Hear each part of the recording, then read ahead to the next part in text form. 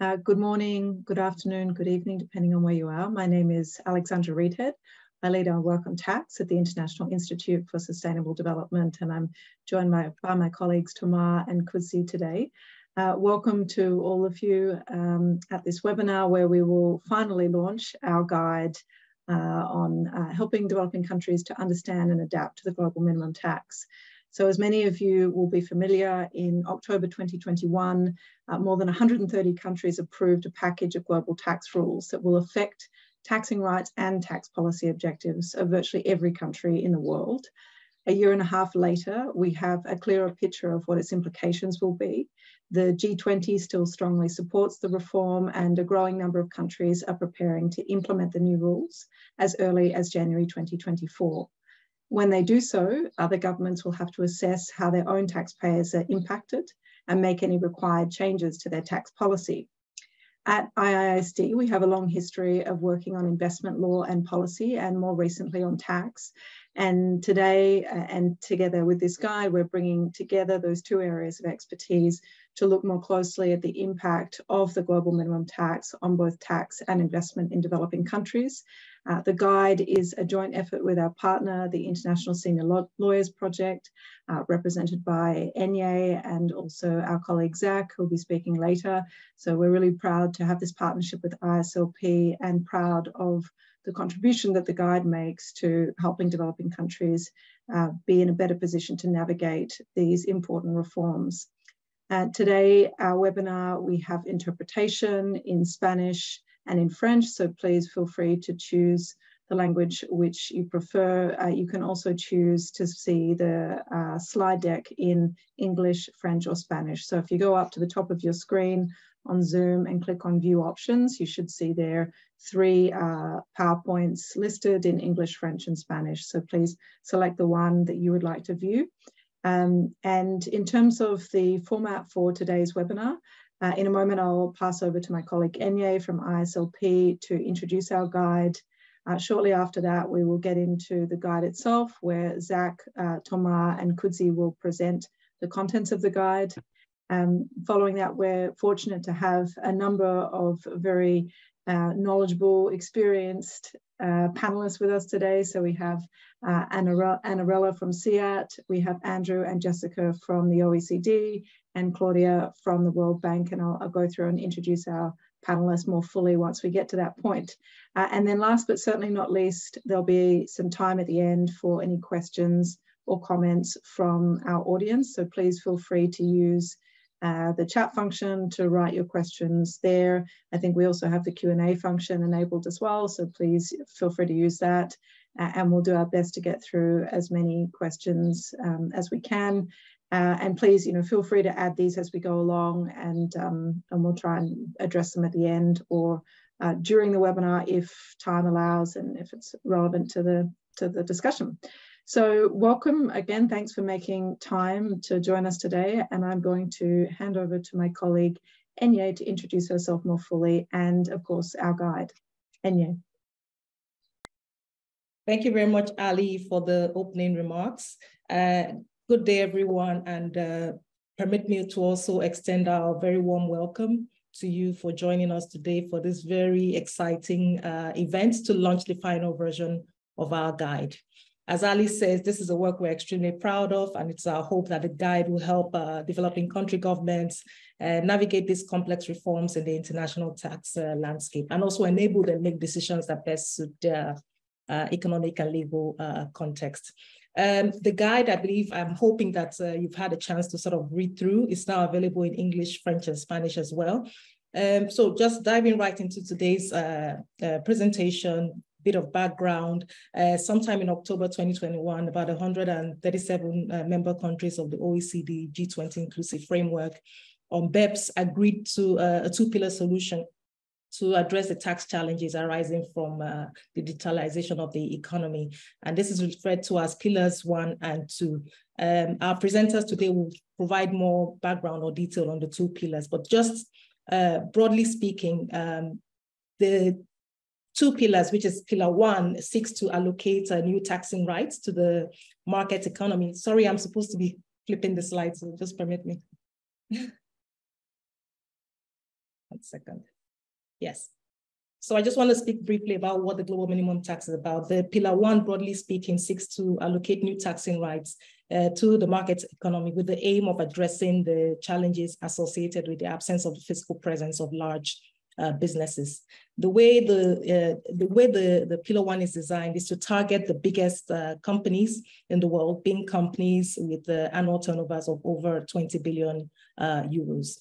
Uh, pillar two, on the other hand, which is the primary focus of our guide, uh, is also known as the Global Anti-Base Erosion, which is GLOBE, and is the global minimum tax.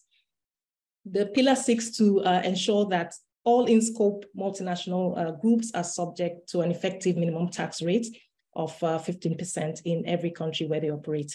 So the idea here is to address what is considered the extremes of tax uh, competition which has led to the so-called uh, race to the bottom, where you see countries now uh, competing to attract investment through their fiscal regime.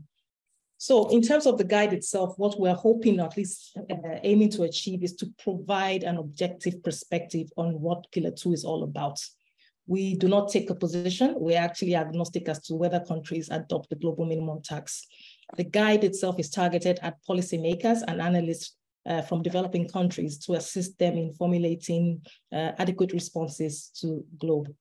I also just want to mention that throughout today's presentation, you hear us refer to uh, Pillar 2, GLOBE, and the global minimum tax. But just for your benefit, these terminologies all mean uh, the same thing.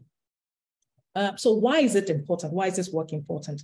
Um, many countries will be affected by Pillar 2, whether or not they adopt it domestically, because it only takes only a few countries to implement Pillar 2 for most other countries to be directly impacted. One of the immediate impacts uh, that Pillar 2 will have on countries is that it will negate the effectiveness of certain tax incentives. For us, this is important, particularly in the context of developing countries who uh, lose valuable revenue by lowering their effective tax rates in a bid to attract uh, foreign investment. So it is in each country's interest really to uh, sort of undertake their own economic assessment to understand what the potential applicability of GLOBE is on their taxpayers and the interaction with their uh, domestic tax uh, system in order to make an informed decision on whether and in what manner uh, to respond.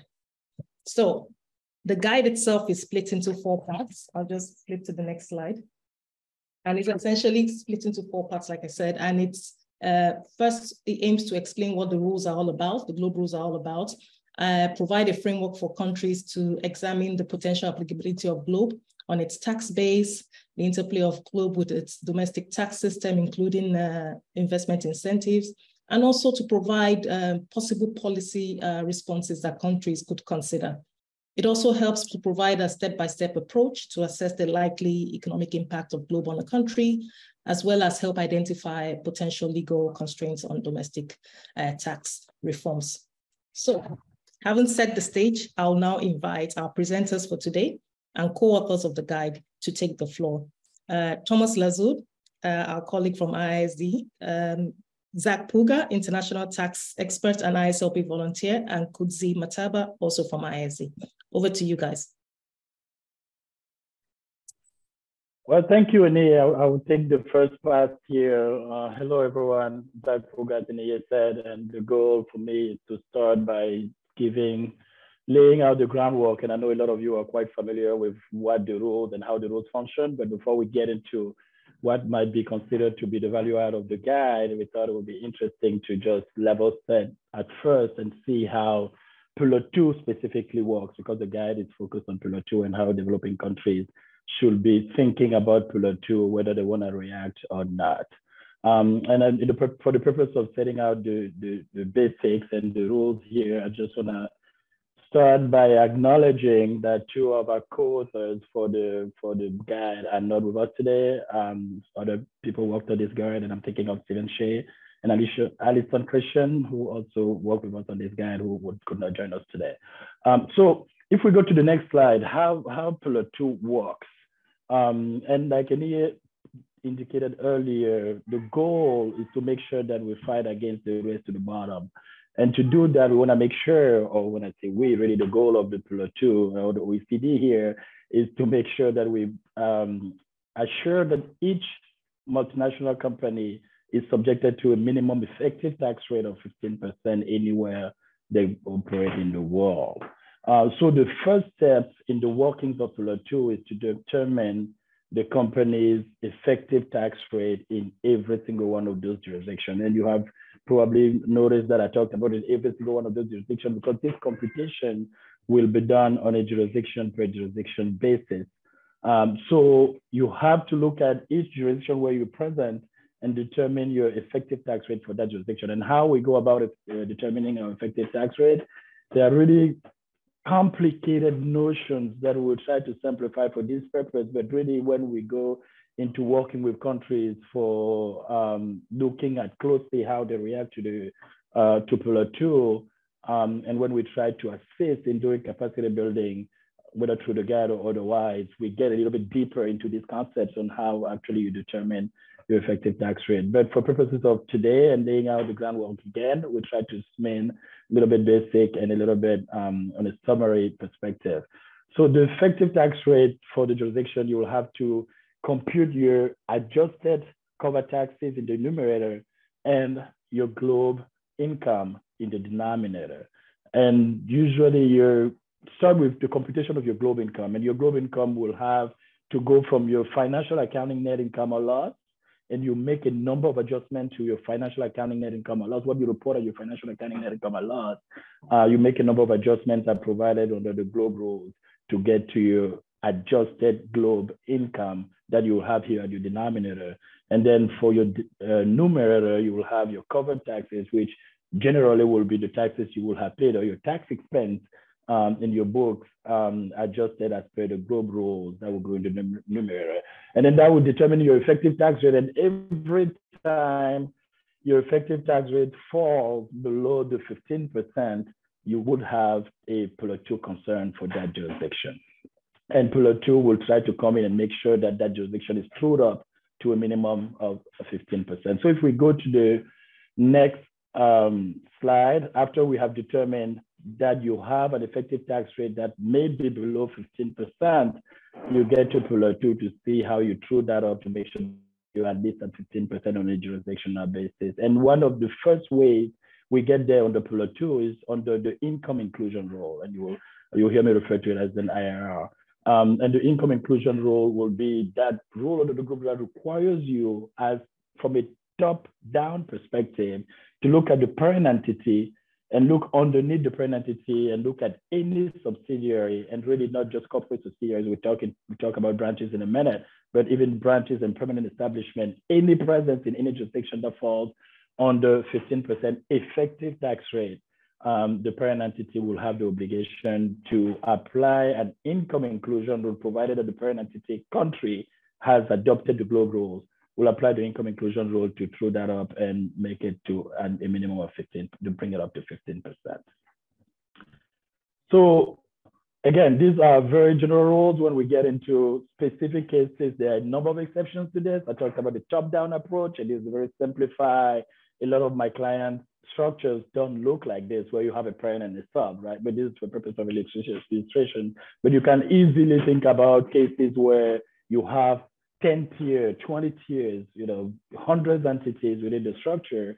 And the top-down approach, which is the general rule on the Pillar 2, can be very well, very quickly supplemented by maybe a middle up approach when you have a partially owned entity in the middle where you had an intermediate entity where the parent entity don't have the rule. So there are complications and exceptions that can arise to this, but the basic concept is that the income inclusion rule will require the parent to bring every one of its subsidiaries that may be below 15% to a minimum of 15% um, uh, effective tax rate for that jurisdiction.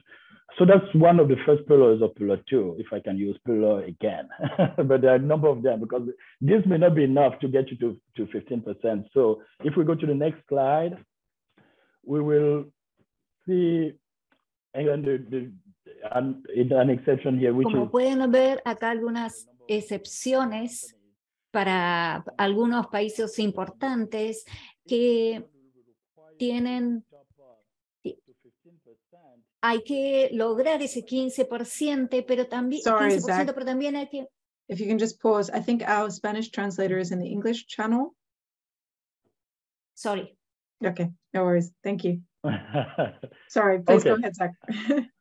Perfect. So we're talking about the, the adjustments that have to be made to your adjusted globe income to take into account your substance-based income exclusion. So the rules basically try to encourage um, investors to or to, to, to give them a bonus for what they invest into tangible assets or employees. So you'll get an exclusion from your global income as part of the adjustment for any amount that are spent on tangible assets or on payroll an employee. And again, the goal, the policy here, and maybe Andrew will tell us more, but I believe is to encourage investors to, to, to really behave in investing in tangible property and investing in, in payroll, which is always a welcome uh, carve out. So if we go to the next slide, the other way um, Pillar 2 gets us to the 15% rate, maybe let's go to the slide after this before we come back to the uh, qualified domestic minimum tax. Um, one more, there we go, is the undertax profit rule. Uh, so if the income inclusion rule is not enough to get you to 15%, maybe because the parent entity does not have an income inclusion rule or has not adopted Pillar 2, then we can look into the undertax profits rule. And the undertax profit rule will allow any other member within the group that is located in a country that has adopted the Pillar 2 rules to be able to top you up to that 15%. And in this case, we'll have the ultimate parent entity in country A, and let's uh, assume for a minute that country A has not adopted Pillar 2 rules. And look, um, referring here, for example, the US, if that remains the case, you have those the US as a parent entity with uh, sub in country A and its in country B and its subsidiary in country C.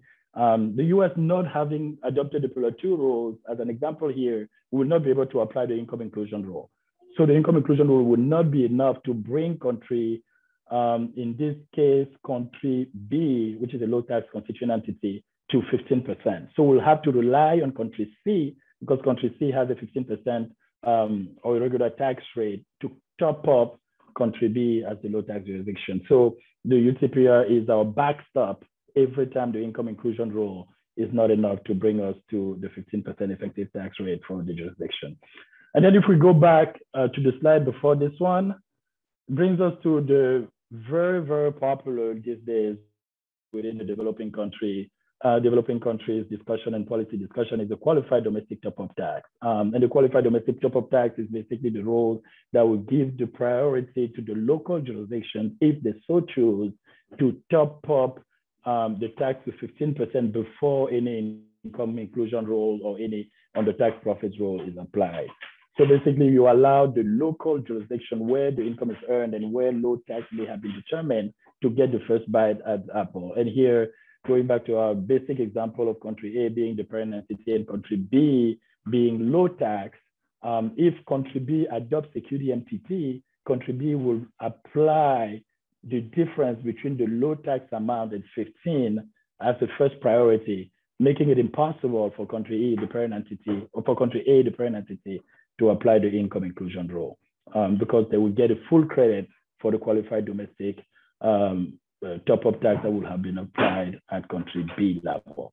So these, these are the very, very basic rules in a very, very basic way. Um, as you can imagine, these things get extremely, extremely complex. And that's what the guide aims to achieve when we get into around the table to speak to a specific country. We take the time to go into these roles and how they can become very complex very quickly um, to see how they, they affect. And maybe um, quick anecdote, right? We were working with a jurisdiction that had determined that they did not have big, a very small country that had determined that did not have big uh, companies, so they may not be within the scope of Pillar 2, but for one or two companies. And then they realized within, when we got deeper into the discussion, that they had actually an intermediate entity that was under the terms of the uh, globe rules, uh, the Pope, a partially owned parent entity. And every time you have a Pope within the globe structure, the Pope has the priority under the application of the income inclusion rule.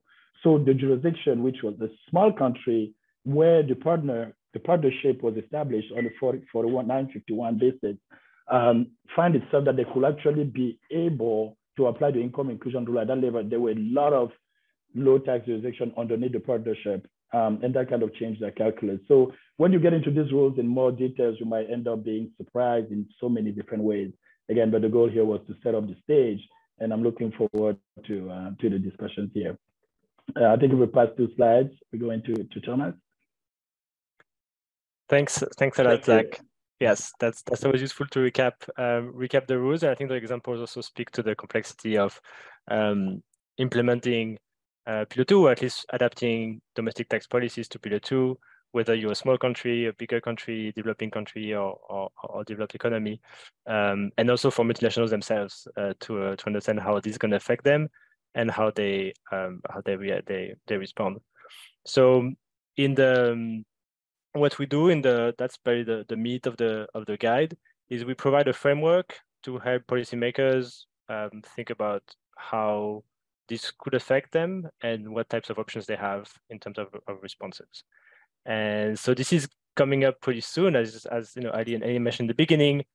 We are looking at um, at least in 2024, um, quite a few countries already introducing uh, the rules and in particular countries that are that are the home jurisdictions of multinational companies are going to implement rules such as the income inclusion rule and the undertax payment rule that Zach um, described.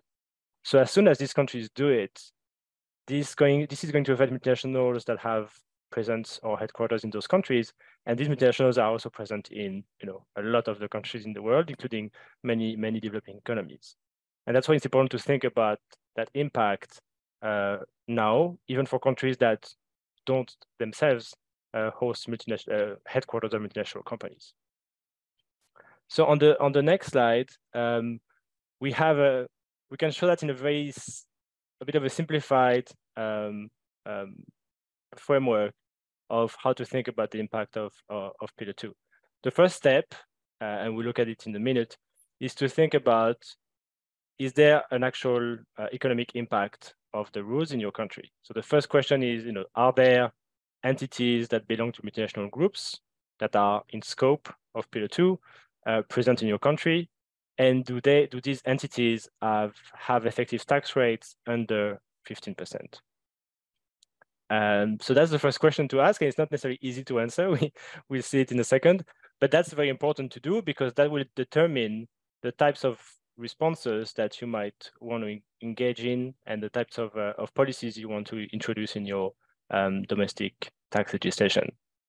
Because if there is a um, if there is an impact of GloBE in your country, if there are multinational companies with effective tax rate below 15%, and you do not make any uh, adjustment to how these multinationals are taxed, then another country will eventually collect that revenue. Uh, and so if, but if, so the, the, the options that you have at your disposal all aim to raise the effective tax rate at, at, at least 15% so that you increase revenue collection at source um, and you don't let other countries tax this um, this income that, that has a um, effective tax rate below 15%. So it's a very uh, simple equation, and I think that we're seeing a lot of countries um, this year realizing how it's going to affect them. And this is why um, Zach was saying the qualified domestic minimum tax is getting very popular because it's, as we'll see, it's probably the, the, the most straightforward way to avoid um, having having effective tax rate under 15% domestically. Um, so in terms of, um, so the first step I was saying is to do some kind of economic analysis of what is the potential impact of the minimum tax in your country. And the, in the next slide, we mentioned a few you know, general studies that have been done, like economic impact assessment of Pillar 2. And these already give an order of magnitude of the revenue at stake. Uh, here you have you have a, a table from the um, a paper by the EU Tax Observatory. The OECD also published economic ass impact assessments for Pillar 2. Uh, their first uh, their first estimate was for 150 billion US dollars per year globally in, in top-up tax that would then be captured by, by different countries depending on the rules that they adopt. And then they published a revised estimate earlier this year based on newer data, um, which amounts to two, $250 billion. So, so, so quite a bit more. And but we have to remember that these these assessments are useful to like get a broad overview of what the impact might be, but they they use country level data. So the, the income of multinational companies at the country level. So the effective tax rate is basically calculated at the country level and not at the entity level, which might be which might make a big difference because in each country you could have some multinational entities um, taxed way higher than 15% um, and others way below. And so if you if you use the the average of all of that, it could be a, an effective tax rate that's uh, above 15%, even though if you look in detail, you might see that some companies actually have uh, effective tax rate below, below 15%, and therefore would be subject to one of the rules of, of Pillar 2. So that's why it's important to not just rely on general estimates. Uh, these are useful, but they, for a specific country to do its own uh, assessment and take uh, the required steps. As a result, it's important to do a specific analysis at the country level. And so on the next slide, we do provide um, uh, a bit of a checklist in the guide of, of how to do this. It's important to look at uh, all the taxpayers in the country, the large taxpayers, identify which ones are part of multinational groups, and then identify that whether these multinational groups are in scope of Pillar 2 or not. And who is in scope of Pillar 2? It's all multinational companies that have annual global turnover um, above 750 million euros. And this is based on, it has to be above that threshold for four years. And that threshold has been chosen because it's the same threshold above which multinational companies have to submit country by country reports. Um, it's important because those reports will be useful in calculating the effective tax rate of those um, of those companies. So once you've identified the companies, you know whether they're in scope. Um, you should be able to, to compute the effective tax rate in your jurisdiction of all the entities of that same company in your jurisdiction. So looking at, you need to use, yeah, country by country reports are a good start, uh, but you also, because GloBE rules are not exactly based on the same data as the country by country reports, you also need um, um, your domestic tax returns to, to be able to make some adjustments to elements of the of the GloBE income, in particular around the use of um, um, depreciations and, and other types of uh, of differences between local tax rules and um, and global accounting rules. So that's that's requires quite a bit of analysis. Uh, I think some countries are already starting to do this, but we'll get into this uh, in the discussion after the after the presentation. Um, so on the next slide, that's where once you've done the assessment and you, then you can there are different options available to to countries uh, in terms of responses. there are three main responses as you know as per our guide. The first one is installing a domestic minimum tax, and there are two versions of it. The second option is uh, revising, reviewing, uh, revisiting tax incentives that may cause low effective tax rates. And the third option is, you know, not doing anything if the assessment is that there's not much at stake in your country, and maybe spend the resources into other priorities, at least in the short term. I can detail a little bit the first two options, and, and then we'll, we'll, we can get back to it in the discussion. In terms of the first option, um, we've talked so far about the qualified domestic minimum tax. So this is the Pillar 2 sanction, you know, officially recognized uh, of qualified domestic minimum tax. It uses the same, um, it adopts the same approach as you know the rest of Pillar 2, so it's very consistent with the other rules. And that ensures that if you adopt a qualified domestic minimum tax, there is no double taxation because whatever you uh, capture that source will be recognized in other countries and they won't be able to use the, they won't, their income inclusion rule won't be able to capture the um, top-up tax that's already captured by the qualified domestic uh, minimum tax. So this is the, the safest in terms of adaptation with the rest of the of the GloBE rules. Uh, but some some countries are saying it's it can be quite complicated. You know, it requires adopting the whole package.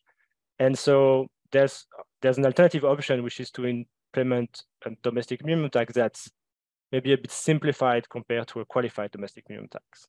So it wouldn't be recognized as a full um, Pillar 2 uh, sanction rule, but it would still achieve the same effect of increasing the effective tax rate in your country. And that means uh, that would be considered uh, a covered tax under Pillar 2. And so there wouldn't be any, um, and so there wouldn't be um, there will still be no reason for another country to capture uh, some top-up tax from your country if you're able to raise the effective tax rate the way you're doing it. There are some risks with it, especially if, because then you might capture more income that's planned by Pillar 2, or you might cover more taxpayers than the ones that are in scope. So there might be some uh, frictions there, and that's something to look at in, in detail if you're if you're considering um, one of these rules, uh, this this particular uh, generalized domestic minimum tax. Um, and then the the second option, um, I think we're sharing slides. Several of us. Yes. Oh yeah, I was just gonna say I think the slides aren't switching. Okay, I'm in. I'm on slide 15 um, with the three options. Uh, I think I forgot to say next slide. Um, slide 15 with the three options uh, in terms of uh, domestic responses. Um, and I'm actually I'm actually moving to the next slide now uh, around the revis revisiting incentives. So that's something uh, we go through also in the guide in terms of that's probably not necessarily like an alternative to a qualified domestic minimum tax or, or domestic minimum tax. It could be probably something to do in parallel. Um, because one of the main reasons that many countries have um, effective tax rate under 15% is because of tax incentives. A lot of countries have nominal effective tax rates. You know, in terms of tax law, they have a nominal tax rate that's above 15%, could be 20, 25, 30, 35 in some cases. And that if you see that, you assume that every company in your country is actually taxed way above the minimum. But if you look in detail, then you see that a lot of countries offer specific tax incentives, uh, such as tax holidays in particular, that exempt income for some companies for a number of years, maybe for five years, 10 years, maybe permanently, uh, or maybe that's limited to um, export processing zone or any other special, special economic zones. And companies in those zones might benefit from a very generous um, fiscal regime that's, that's different from the uh, headline um, income tax rate. So that means that the, in many countries, the cause of low effective tax rate and the cause of potential top-up tax under Pillar 2, it, um, it's uh, tax incentives. So revisiting tax incentives is actually a logical conclusion of the implementation of the global minimum tax for many countries. It's to look at the tax incentives that are offered to investors and rethink how they fare under Pillar 2. And many of them don't fare very well, especially the ones that exempt income altogether. So we make a difference between profit-based tax incentive, that probably many of them needs to be re revisited, and then cost-based incentives, um, such as accelerated depreciation and investment credits. Those can probably still be used effectively, especially taking on the substance-based income exclusion of the rules. So it's going to be a, a, very detailed work in every country to understand which incentives needs to be uh, you know needs to be removed and and and, and revisited uh, but it's an important one to do and i think you know several organizations are, are doing it as we hear in the discussions um, thanks a lot. I'm now going to move to the third part. I'm going to hand it over to my colleague Kudzai uh, to talk about some of the risks in doing in doing these uh, taking these approaches. Thank you for that very detailed explanation Thomas. In the final uh, section of the presentation, we will go through the potential legal barriers to adaptation responses as discussed by Thomas in the previous section. The first legal constraint that we contemplate in the guide is the uh, constraint that emanates from the possible interaction of stabilization clauses held either in investment laws or in specific contracts or in broader domestic laws and changes to the domestic tax regime. Stabilization clauses can broadly be understood as clauses that in their aim strive to freeze in time the fiscal conditions that are applicable to investors.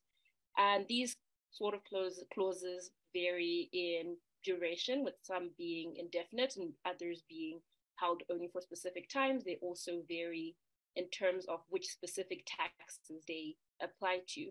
And for this reason, it is conclusive, it is difficult to make a conclusive adjudication as to whether or not stabilization clauses will stand as a legal barrier to adaptation policies. And what we encourage in the guide is for countries to take a very case by case analysis of the stabilization clauses that they that they give out in contracts or in the domestic regime, and to assess first of all the taxes that are implicated, the duration of specific stabilization clauses, and we flag this to be a risk, particularly because investment arbitration or investment arbitrators have tended to take very black letter um, interpretations of stabilization clauses, often reading them in a very narrow and rigid way, which has in many investment claims led to countries being found to be in contravention of these clauses. We go on to contemplate what countries can do to anticipate or to prevent any legal challenges that may emanate from stabilization clauses, with the first being that countries may seek uh, companies affected by these reforms to make unilateral declarations that, as a result of the operation of the rules, the that are being um, are being impounded on them in the domestic regime will not result in damages overall because they would be payable elsewhere if they were not payable in the investment host state. Uh, this is the first and probably the most pragmatic approach that countries can take. And a second approach that we contemplate is that of renegotiation of stabilization clauses. But this we propose very cautiously due to the various risks of opening contracts to renegotiation. Often countries may not be fully aware of the overall impact that opening up a contract may have on other provisions in the in the contract. And so this should be taken almost as an option of last resort. On the next slide, we we contemplate the potential interaction of investment treaties or investment contracts more broadly and any potential changes to domestic legislation. And we, in various ways, uh, examine the potential impact of expropriation clauses, most favored nation, fair and equitable treatment, uh, and other non-discrimination clauses on a very broad and high level due to the very specific nature that these standards of treatment can present themselves in investment contracts. What we do find, however, is that the most uh, the most notable standard of treatment would be that of fair and equitable treatment. This treat the standard of treatment in its in its essence strives to make sure that investment or in companies are subject to the most equitable manner of treatment in a the way that laws apply to them and that they face any unfair discrimination beyond which, what that which they could have expected at the time of their investment. Fair and equitable treatment often interacts in a very direct manner with the legitimate expectations of an investor. And sometimes this can be construed to mean that an investor is can reliably infer that the conditions, the fiscal conditions under which he made the investment will not change in time. The combination of these two standards of treatment, being the fair and equitable treatment and the illegitimate expectations of an investor, tend to, to turbocharge stabilization clauses where they exist. And so there's also necessity for countries to look at the interaction between both stabilization clauses and the fair and equitable treatment in investment contracts or treaties more broadly. What we encourage countries to do in our guidance is to A, be very cautious in the way that they implement any possible reforms to the domestic regime. Particularly, we encourage countries to make sure that they adhere to the normal legislative process, which includes having fair consultation processes and not implementing the law itself in an arbitrary manner. We also discourage countries from using response mechanisms to GLOBE as a manner through which to discriminate unfairly between investors in like circumstances. For example, any possible response mechanism should apply equally to all investors who meet the threshold of the GLOBE rules and cannot be targeted to um, investments in particular sectors or of, of particular nationalities. Once again, we cautiously uh, propose that countries could renegotiate the most problematic standards of treatment, and these tend to be standards of treatment that come from older generation investment treaties, which are due and ready for uh, updating in any event. And the global minimum tax could provide the, the for countries to begin on these sort of reforms. And then lastly, we caution countries to take closer look at take a closer look at the carve out of tax in their investment treaties, as various studies including studies by UNCTAD, have shown that carve-outs are not a definitive way to make sure that tax-related claims are left out of the ambit of international investment arbitration clauses. And often uh, tax is not brought as a direct matter to arbitration bodies, but the causes of claim tend to emanate from separate issues, and then taxes almost compounding the investors' grievances. I think in a nutshell, these are the main legal challenges we contemplate, and this brings us to the end of the section of the presentation and also brings us to the end of the, the guide.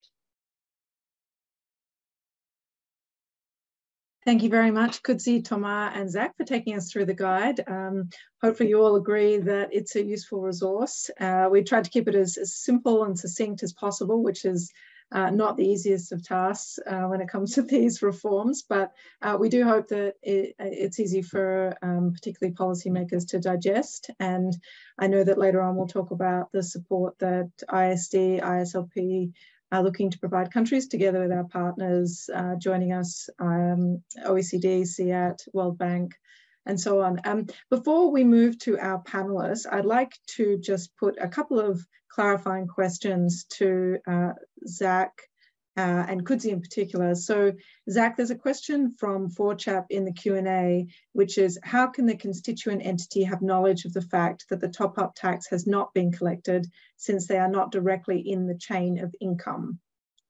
So if you could just think about that for a moment, and then Kudzai, I'd like you to just elaborate a little bit on the the interaction between pillar two and stabilization. So I know you've you've spoken about that already um, in your presentation, but if there's anything that you missed that you'd like to add um, for for Jose in the Q and then Joe, thank you for your question on capacity building and support to countries. I think we'll come back to that, and and our panelists are going to speak a little bit about what's being done on their side, and and I know we'll we'll talk about that more in the Q and A later on. So Zach, can I throw to you? Yeah, I think that's a great question, and thanks for sure for that. Um, I think the problem of information, of knowledge of what's happening, especially within the big groups, is a true, a real one. And I would love for Andrew to jump in at some point, but I think there is the mechanism.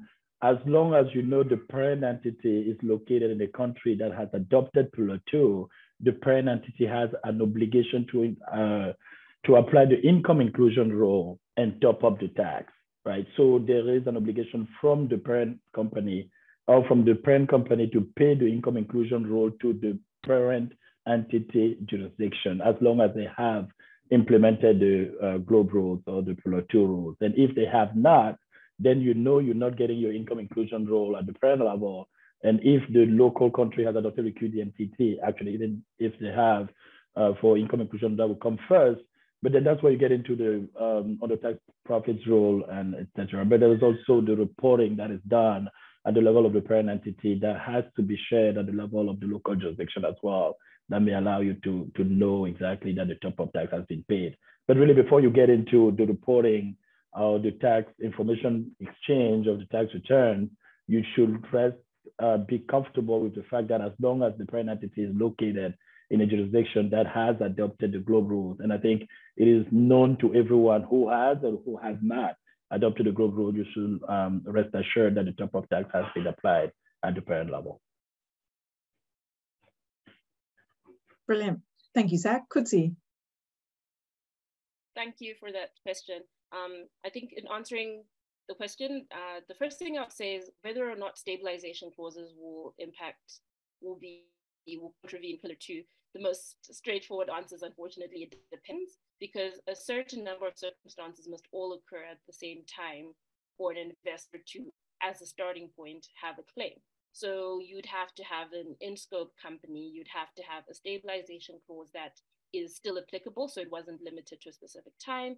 You would have to be sure that the taxes that have been amended in the domestic regime are also in scope of the stabilization clause. And there, there is a big chance if all of those conditions are met, that there is a contravention of the stabilization clause. However, the pure contravention of the stabilization clause gives an investor a claim. However, it is not, we don't anticipate it to be a very strong claim because when that matter is brought before a tribunal, the investor would still have to prove that this contravention of the stabilization clause has caused him damage. However, as the architecture of the rules are set, if a tax is not paid within country A and another country applies either UTPR or an IIR, income inclusion rule or a profit rule, that same amount is payable and by that same taxpayer in foreign jurisdiction. And so a domestic change in tax that makes the the taxpayer-borne country A cannot be found to be damage-causing because the tax is payer-borne due in any event. So an investor could bring a claim, but not a very strong claim in our opinion. So whether or not Pillar 2 in itself just by its operation contravenes stabilization clause, we'll need, as I mentioned earlier, very case-by-case -case analysis, the in scope of the, the scope of the company, the taxes involved, and also the, the investor still has to prove how this change in taxation has caused damage to him. And we fail, we fail to contemplate how this could be possible. Uh, Ali, please feel free to add if I missed anything, but that's what I'll say in summary. No, that's perfect. Thank you, Kudzai. Um, we we got a, another question. Uh, thank you, uh, Kuldeep. We'll come to that in a moment, but um, I'd like to turn now to our first panelist. So Anarella Calderoni. Uh, Anarella is a certified financial planner with a master's degree in international and European tax law from Maastricht, and she's been working as an analyst on international tax and transfer pricing policy at the Inter-American Center for Tax Administration, CIAT, for five years. So Anarella, uh, over to you. We have a question, um, which you may or may not already be aware of. Uh, so CIAT works with tax administrations in 42 member countries with a focus on Latin America. How are they reacting to or adapting to GloBE? Over to you. All right, thank you, Ali. Uh, thank you very much for the invitation. Um, okay, so um, the information that we have is on our Latin American countries. As you said, we have 42 countries ranging uh, Europe, Africa, etc. But specifically focusing on Latin America, uh, we have the information that's on the screen. Thank you very much. Um, it's on all of Latin America and one Caribbean country, which is Dominican Republic. Now, in Latin America, there are seven countries which are not inclusive framework um, members, which means that they don't actually need to implement uh, BEPS or the pillar recommendations if they don't want to. However, some of these countries have in the past implemented some BEPS actions, even if not part of the inclusive framework on BEPS or from the OECD. So this could happen also with Pillar 2, especially due to the functioning that uh, Thomas and everyone just explained in the international political pressure. Now, for the 12 countries in Latin America that are uh, inclusive framework members. Uh, we can see in this graph, the top part of the graph, um, everything that's in green with a little one means that there's been some action there. So all of the countries uh, have started learning uh, about the proposed rules and what to do about it. Uh, four of them have reported that they've started sensibilization actions, so meetings with Chamber of Commerce, large companies, discussions to receive feedback and try to maintain some sort of tax certainty, uh, especially for the future since there's lots of unknowns. Then 11 countries have uh, started assessing the impact that this these rules could have on their economic sectors. And 10 countries have cr actually created a unit of designated officials from either Ministry of Finance, Tax Administration, or both within um, government to evaluate and coordinate the adaptation of these of their legislation and what potential changes would need to be um, made to their legislation. Lastly, there's only one country that has officially adopted part of Pillar 2, which is the qualified domestic minimum top-up tax. However, um, the calculation, the way that they've chosen to calculate this does not necessarily align to the latest version of the model rules by the OECD. So uh, Colombia is currently analyzing how to modify what they've adopted to better align it to the internationally proposed practices.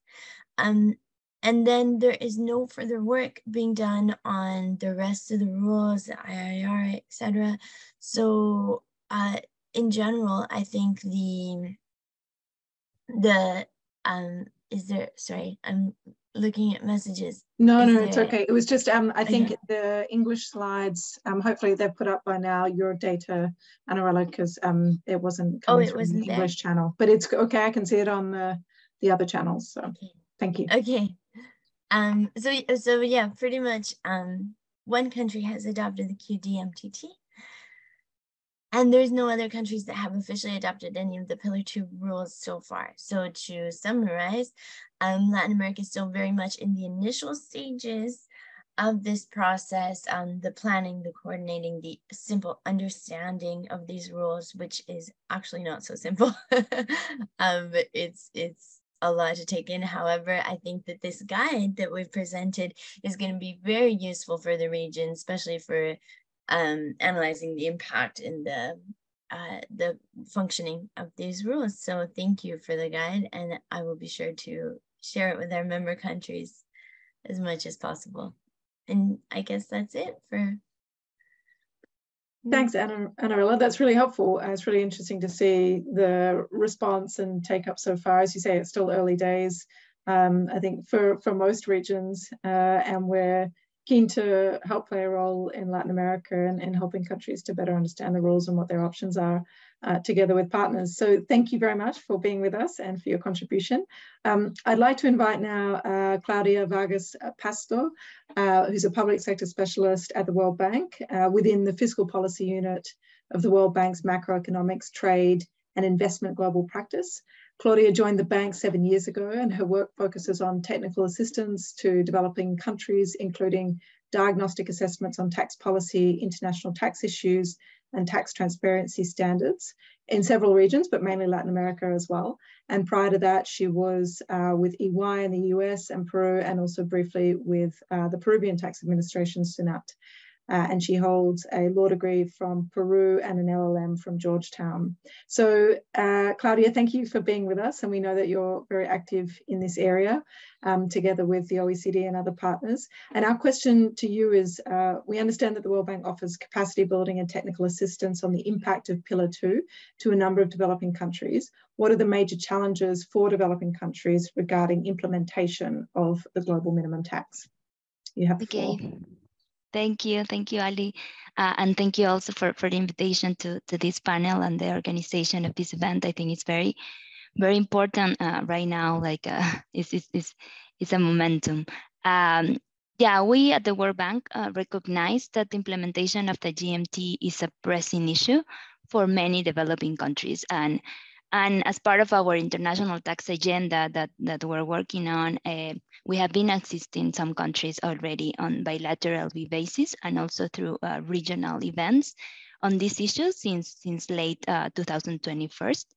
Uh, we feel that the nature of the GMT is like there are options, as, as you mentioned, like for countries to uh, implementing the GMT, and, and they will need to determine what is the optimal depending on the circumstances. But, but also they need information, you know, like uh, we also prepare a report uh, that, yeah, that, that also you cited in your guidance that is like kind of in, in line with, with your guidelines and include this type of first uh, looking at the measure to protect the, the tax base, no? which is including the, the, the MTT and review tax incentives uh, and also implementation, looking at if it's important to implement GloBE rules or not, like the whole package of IIR and UTPR rules, and also looking at broader reform options, including a deeper reform on corporate tax policy or optimizing tax incentives uh, under this new environment, uh, simplification also of corporate tax regimes.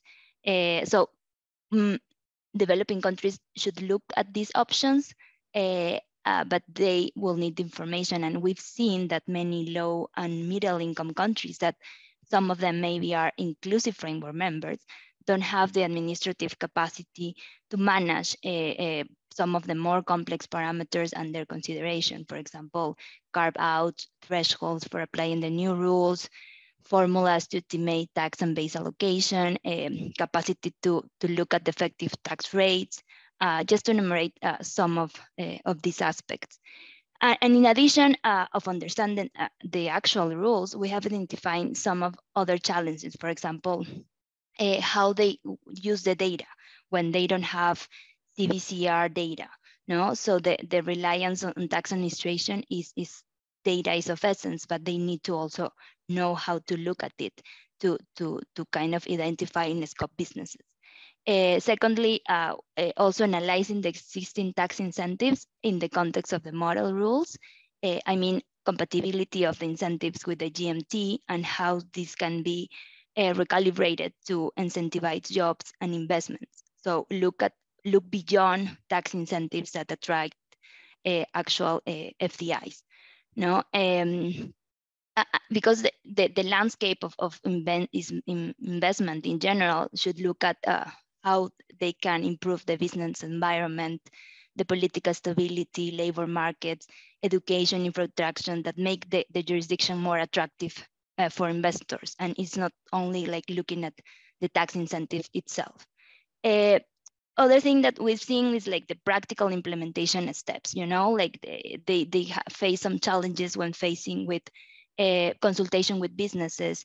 So uh, they need to, to, to kind of develop a implementation roadmap to, to, to, to try to bring together uh, all the stakeholders in this aspect. Also challenges on drafting the legislation itself to see if they're gonna be uh, GMT compliant or will gonna pass the peer review uh, later on. And, and also uh, like finally managing the transition, you know, like uh, for example, in particular uh, with these stabilization clauses, you know, that how they will they will manage it. So, so are they re renegotiated them? Are they waiting until they expire? So uh, there are things to, to consider that I think information is, is basic. So we are the bank are ready to support uh, all developing countries that decide to implement the GMT. Uh, some areas we can be of, any, of assistance. We have been providing uh, capacity buildings to tax officials, uh, so detail uh, training on the GMT rules through workshops, also uh, give the information that they make a, a, a decision of, of implementation, you know, uh, and also looking at identifying in scope corporations, calculate the ETRs, estimate the revenue impact and also the revenue loss if they don't implement the, the, the, the QDMTT. Uh, and, and, and yeah, we, we are really happy to, to join forces with uh, the other partners and international organizations to make it uh, simpler uh, for, for, the, for the developing countries.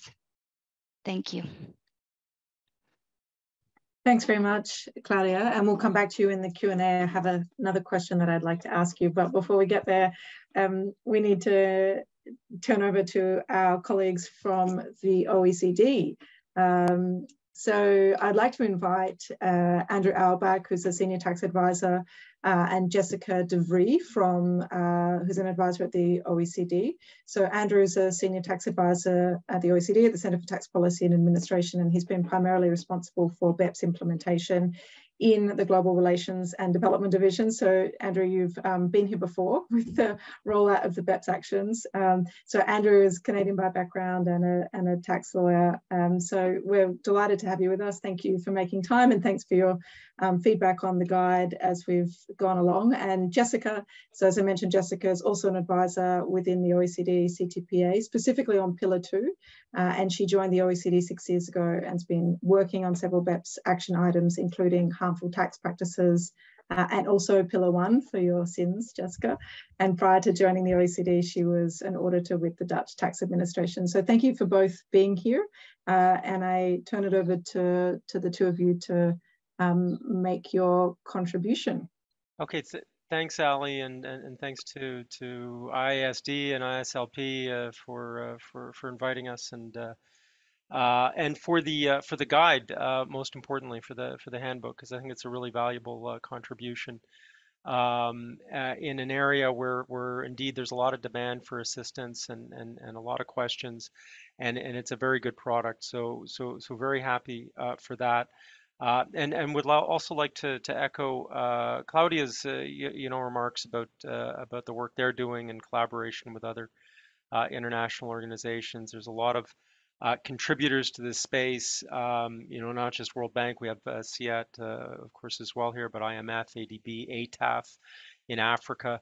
all contributing and and indeed this is happening and and countries are reacting and and and, and they do need assistance. I noticed the uh, question in the chat about uh, training tax administrators, and, and indeed that's that's a, a, big push from us. We have a lot of material that we're developing uh, online on our uh, uh, knowledge sharing platform that's available to tax uh, you know tax administrations around the world, whether they're you know members of the inclusive framework or not. Um, and and we have a number of modules on on calculating you know the the, the globe. tax and, and the various steps involved, also doing a lot of bilateral work there. Um, a big part of this is going to be uh, collaboration and, and cooperation.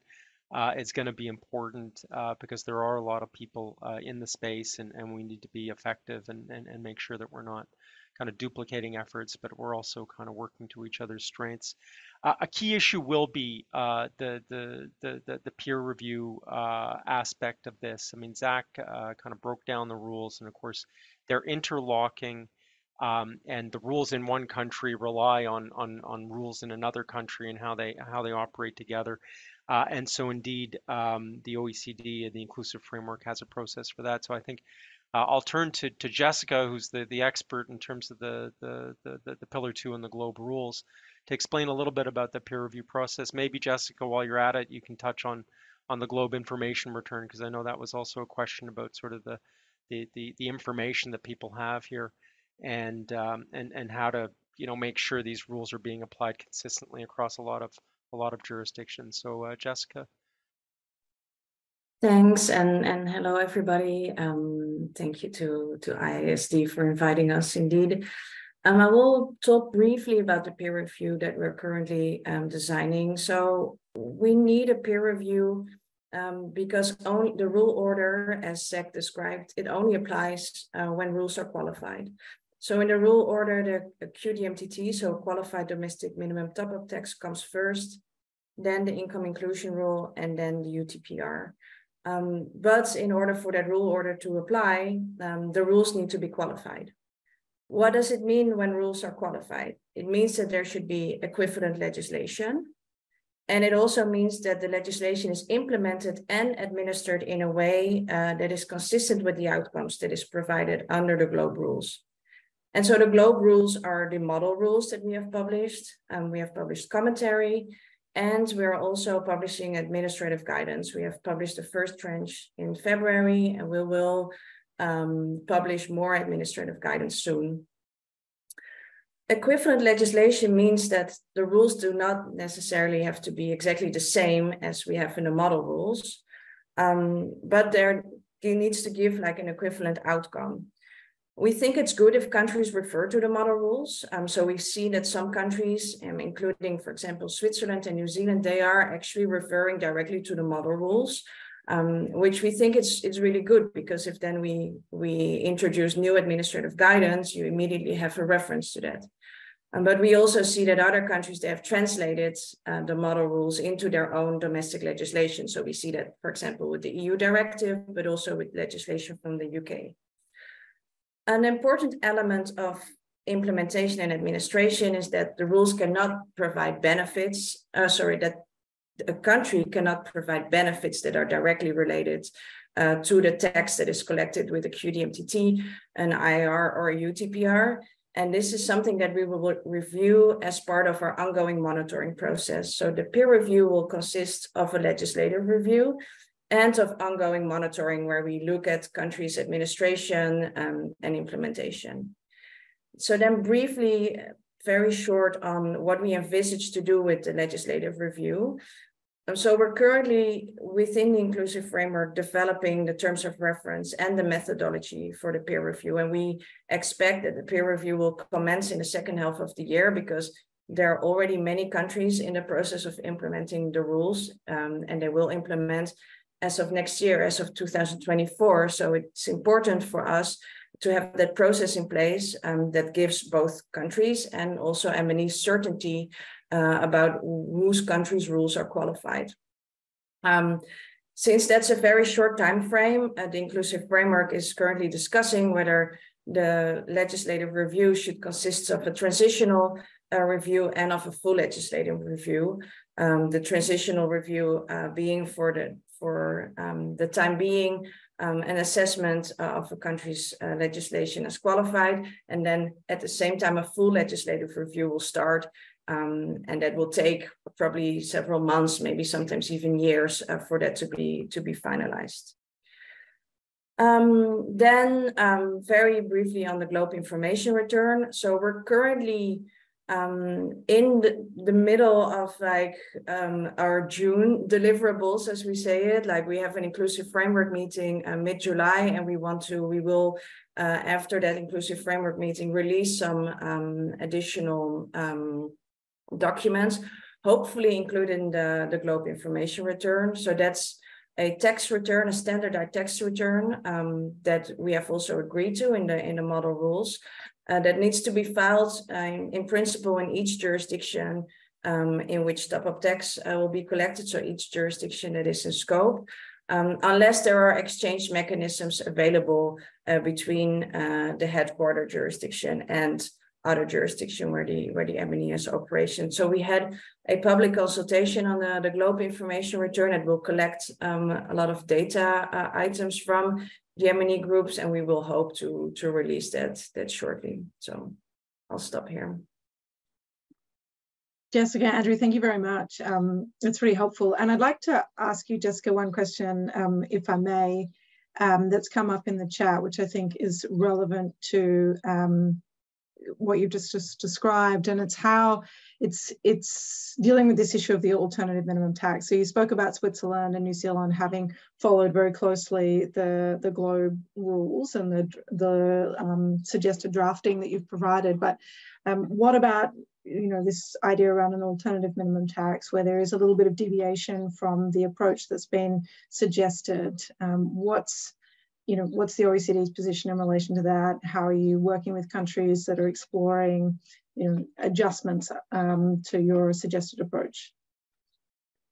Right. So thanks for that question. And well, I mean, I guess it's it it depends. So if a country implements if a country, for example, uh, increases its corporate income tax rate or it implements a corporate income tax, um, then a corporate income tax is a covered tax. Uh, covered tax is, as Zach described, uh, necessary to um, to calculate the effective tax rate. Um, a QDMTT, so a domestic minimum top-up tax that is qualified, um, is not a cover tax. A QDMTT is a deduction to uh, the top-up tax that is li li liable in a jurisdiction. Um, we currently we expect that domestic minimum top-up tax will be qualified. Um, so we haven't had the chance to peer review the ATAF uh, guide, for example, or we haven't had the chance to peer review a New Zealand's legislation, even if if they refer directly to the model rules, we expect it to be a, a qualified domestic minimum top-up tax if a domestic minimum top-up tax, top-up tax sorry, is not a qualified one, uh, then it will not cannot be deducted from the top-up tax. So this is why we also find it really important um, to speak to jurisdictions and to provide them with technical uh, assistance at a very early stage when they start uh, drafting their legislation. So I hope that was clear.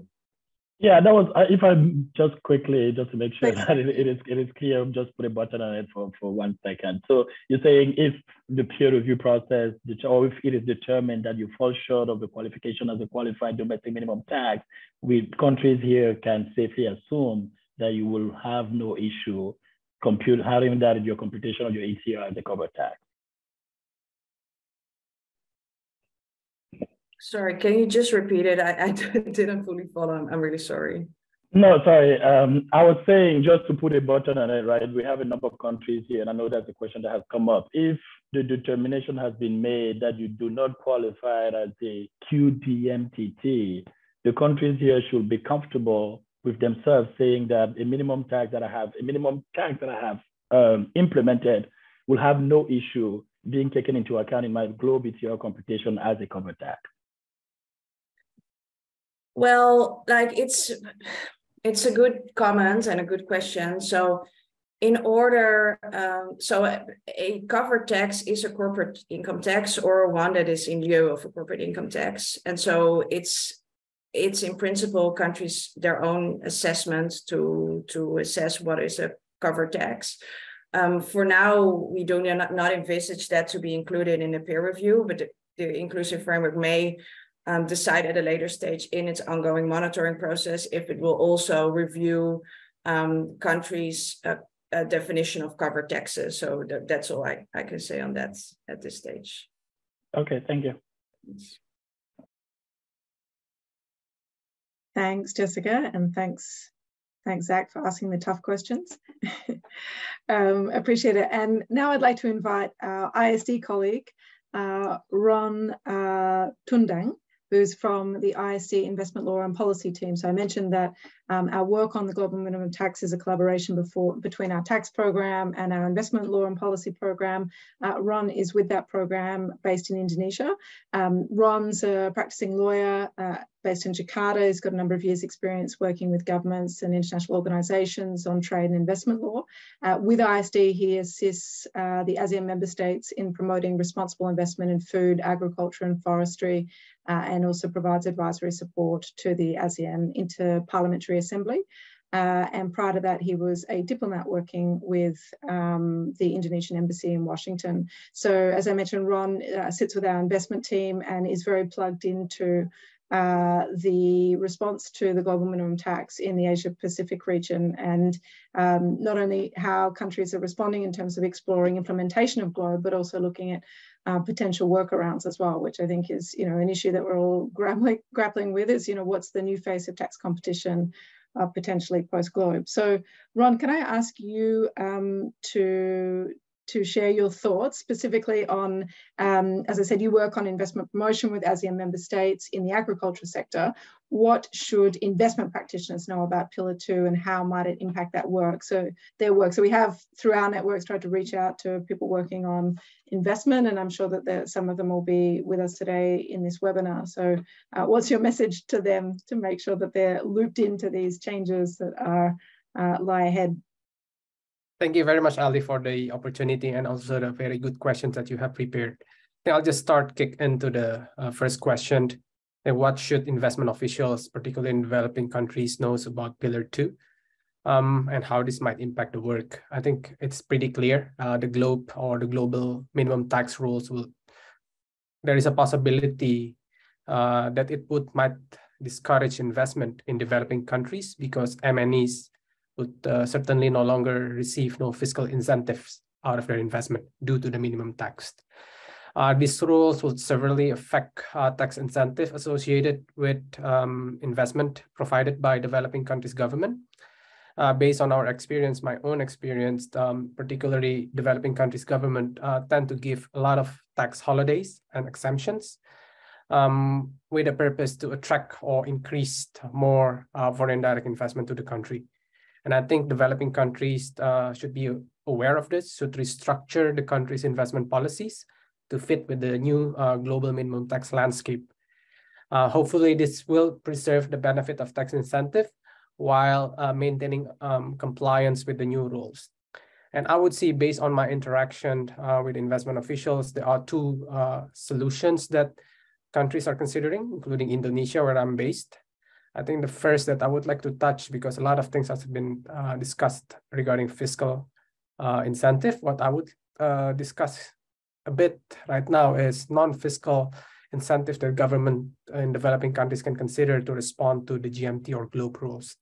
One of the options here is actually to provide subsidy, uh, which is legal still under the WTO agreements on critical infrastructure or projects essential for developing countries because we see uh, infrastructure projects are key elements in country, developing countries' development. And hence, I, it is very beneficial that investment uh, really plays a very important role to achieve or realize uh, and to address infra infrastructure gaps within the country. So subsidy can be provided um, in the form of cash or cash equivalent by the government for infrastructure projects that are beneficial to public services hopefully this um, will also entails more investment coming in because with a good infrastructure, it in itself, it serves as a reason for investors to invest. An example of a subsidy, I will just take a cue from developed countries, uh, is the UK Guarantee Scheme, which was designed to kickstart crucial infrastructure projects. Uh, UK offered like 40 billion uh, sponsoring guarantees in aggregate, regardless of the project performance. It resulted in more than 6,000 investment projects in five years, created more than 200,000 jobs, and generated roughly around 24 billion uh, pound sterling investment. So this kind of incentive uh, we usually try to encourage countries to consider um, in crafting their uh, subsidy policies. So they would be uh, that this will enable them to increase their own industrial capacity itself and to close that development gap. And I just want to uh, touch a bit upon the uh, fiscal incentive that countries might still consider, although there are global minimum tax rules that currently be put in place. I think first and foremost, uh, we know exactly that the global minimum tax pertain to a specific category of tax, but there are other categories of tax that uh, developing countries can still consider. I think first um, step is probably to see whether um, some quick wins like uh, considering accelerated depreciation or loss carry forward method to assess tax incentive can be taken as an approach by developing countries. This is something that Indonesia is considering at the moment. And the second step is probably to look into like a refundable tax credit scheme uh, where you you design a requirement that will be beneficial for your own developmental needs. And I think in particular for developing countries, uh, research and development is one key element where they need to fill in to close the development gap. And of particular importance, uh, providing incentive for having foreign investors conduct research and development in the country is very essential. Again, I'll take another example from United Kingdom uh, the United Kingdom R&D expenditure credit is kind of a form of like a tax relief that meets the definition of uh, refundable tax credit. And introducing this kind of incentive would uh, not only benefits the investors that are uh, investing in the country, but also increase the capacity of local uh, resources and workforces. I think this is um, something that I think we try to advise uh, a lot of countries where we work with. And I think the, the last one, which uh, has been also essential, is to look into domestic taxes. Um, we know exactly that the global minimum tax, particularly targeting multinational enterprises. And a lot of these multinational enterprises, uh, they also pay taxes, but not only their own taxes, but also value added taxes or um, payroll tax rate. This is something that developing countries can still play where there is a flexibility in terms of um, generating or developing uh, new incentive measures. So I think these are some key points that uh, I've, I've, taken from my conversation and our interaction. And I'm hoping that this can be helpful and also can uh, move forward and advance uh, the discussion. And also, by the way, um, Indonesia is one of the key countries in, in implementing Pillar One. I think they're they could serve an ex, as an example next year how this is being implemented by an emerging economy. Thanks very much, Ron. Uh, it's really interesting to hear your perspective coming from the investment side. I think um, most of the panelists, and I'm sure a number of the people um, that are joining us for this webinar come at this from a tax perspective, very much around, you know, protecting the tax base, increasing revenue, um, domestic revenues. Um, but, it, you know, it's interesting to hear your thoughts on, you know, there's still an imperative to attract foreign direct, direct investment and countries um, you know, rightfully concerned about that and looking for alternative ways to attract investment. Um, I think the key thing from my perspective is making sure that then these new ways which countries might compete to attract investment don't um, try and limit the extent to which it undercuts other aspects of the tax base and, and as always, you know, doing it in a you know, efficient, effective manner that's aligned with clear policy goals, transparent and so on. It's going to be very important even in, in granting subsidies and so on. But um, at, at, this point, uh, Andrew and Jessica, I'd like to invite you guys to say a few words there, there, are two questions in the chat from Forchap and Omar, and it kind of links to this question, this issue that Ron's just raised around to what extent are you know other forms of incentives and so on captured by Globe. Um, so the first one is the practice of giving some special allowance for extra expenditure instead of reducing the tax rate. Does the determination of the effective tax rate take such situations into account? And secondly, what are the implications for special economic uh, zones? Yes, I, I, can speak on that, and then let's see if Andrew wants to wants to add something um, later.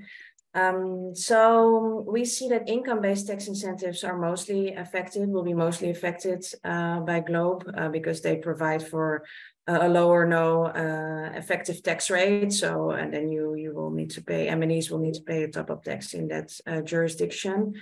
Um, so, for example, in a special economic zone, it's it's usually an income-based uh, incentive. Um, um, which we think will be impacted uh, by GloBE. So countries, um, as I think Thomas already explained earlier, they will need to uh, reconsider their, their type of incentives.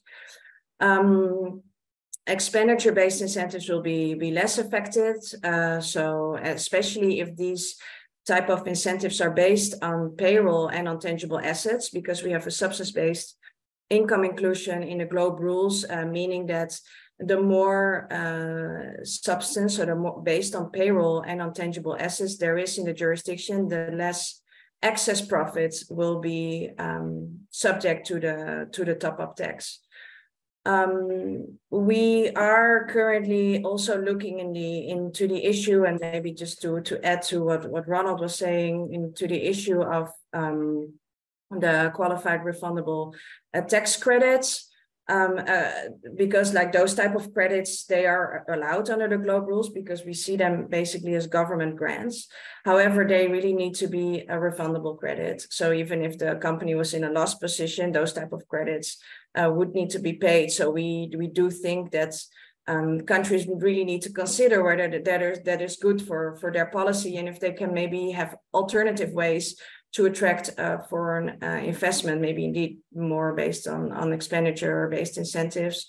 Um, I also think that uh, the peer review will um, include a review uh, of those tax credits, whether they are indeed uh, qualified or not, because everything basically that has uh, the definition of qualified in our rules will be will be reviewed. Um, so yeah, I'll just I'll just stop there to see if, if Andrew wants to wants to add something. Yeah, thanks, uh, Jessica. I mean, I, I think maybe uh, stepping back a bit. I mean, the the the the, the, the great kind of you know sea change to the international tax world that the that the minimum tax brings is is to really change the conversation on on tax incentives and tax base in a lot of developing countries and and and, and there's a huge uh, pressure uh, to to increase fiscal space and and and and and mobilize resources in countries to, to, to fund their development, to fund infrastructure. And, and, and ultimately, you know, I think a lot of the studies that, that we've done, that, that, that others, uh, you know, in the space have done, have shown that, uh, that tax incentives or low taxes, you know, it, it's, it's an incentive to investment, but it's not necessarily the, you know, the number one draw. Um, that there are a lot of considerations that really um, that really come uh, come first for, for, for business when they're choosing a, a location to uh, to invest their capital.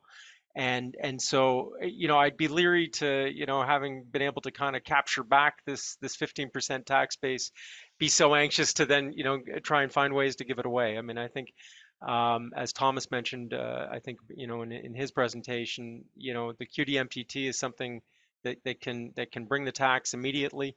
And then looking at the tax incentives well what makes sense now?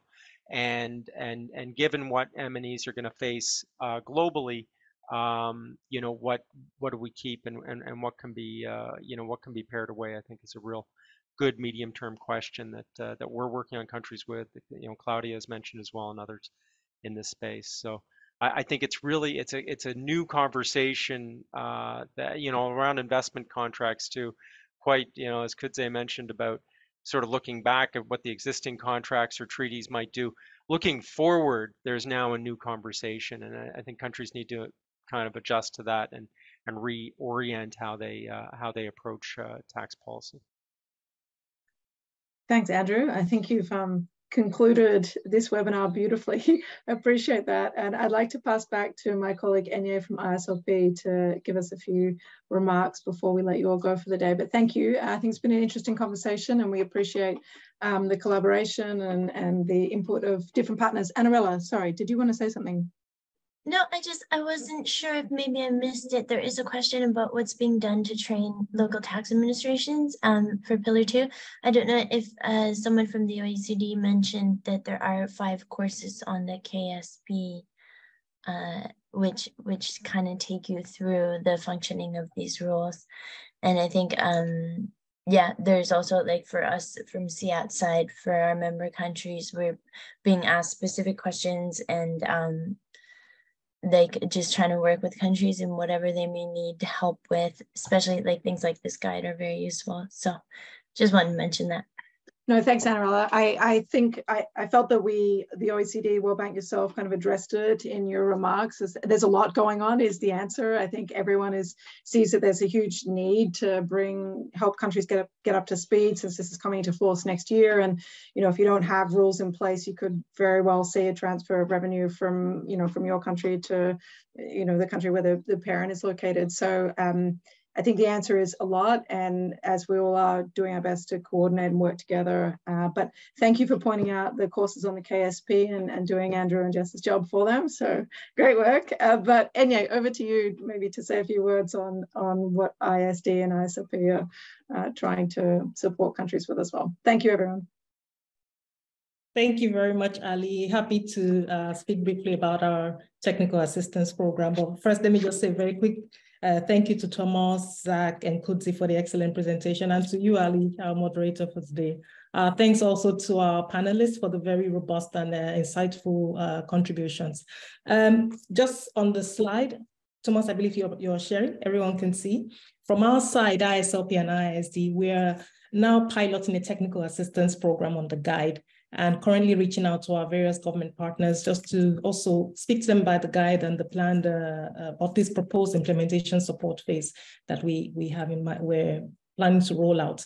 Um, we're also now gauging interest. We've had a few uh, meetings already with some interested uh, various government uh, uh, partners, and now sort of reaching out again to others to, to gauge their interest. In terms of the technical assistance program we have in mind, it's on your screen here, basically to just also provide some sort of guidance around understanding the rules, uh, providing um, support with country-specific economic assessments and evaluation of country-specific constraints, amongst others. And it could take uh, different forms, this capacity building uh, support that we're, we're providing. Could be just in form of uh, roundtable discussions, uh, dialogues to get uh, feedback on government policy steps, or it could be something a bit more uh, substantial, uh, uh, providing technical assistance. But this again will be on a case by case basis where we've sort of gauged the country's uh, needs and of course their uh, appetite to get that sort of support. So just to let you know, the purpose of this, uh, uh, one of the intentions with this virtual launch is also to sort of get that conversation going. And we want uh, country representatives on the call to please feel free to reach out to us, Thomas and myself. I think we have our email on the, the slides uh, at the end. We will also share, but please feel free to reach out to us just to indicate your interest in participating in this um, technical assistance program that we are providing. Also important to mention that we're also not working in silos. We're also coordinating with our partners, the OECD is on the call here, I believe uh, ATAF and a few others, just so that we're not sort of duplicating efforts and making the support, uh, support uh, redundant. So from our side, we also just want to say a very big thank you to everyone for joining us today. We hope you've enjoyed today's session. Uh, we understand that navigating these reforms is not an easy one, uh, as it's not um, it's not one that will not be without trade-offs. You know, we understand that tax incentives still have a role to play if they are well tailored and targeted and motivate the right uh, behavior. But from our side, we hope to continue playing a very important role as the global minimum tax uh, gains momentum, particularly in the area of capacity building support for our government partners who are looking to implement GLOBE or even explore the option to, uh, to implement a response to, to GLOBE. So for now, we just say a very big thank you. It was a real pleasure having you join us. Enjoy the rest of your day and week. Thank you.